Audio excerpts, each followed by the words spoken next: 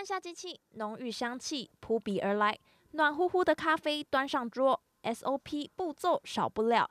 大学生即将开始放寒假，餐饮业是不少打工族的首选，像是饮料店或是餐饮类的，食宿还有就是可以比较好安排。因为像我就比较喜欢跟人互动，就我会选餐饮业，就因为我以前也有做过像补教类的，但是我觉得。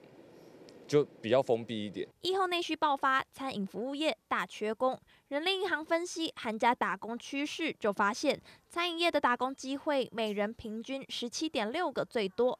迎战春节，消费人潮，大型餐饮集团福利优渥。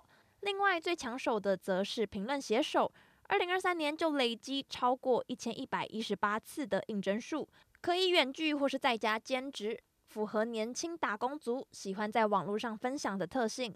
影音直播主要吸引观众目光实在不容易，因此则是拿下最高薪打工冠军。最高薪的影音直播时薪上看六百零三元，宅经济当道，吸引打工族跃跃欲试。第二名则是补教业，时薪也有三百五十九元，医护则是以时薪两百八十一元紧追在后。餐饮它一定要很多时间才会有很多钱那家教就可以比较。时间比较少，这样自己有一些软硬实力，甚至是证照主证的话，都会成为自己就是争取高薪的一个重点。趁着大学最长寒假，打工族充实自我，存下第一桶金。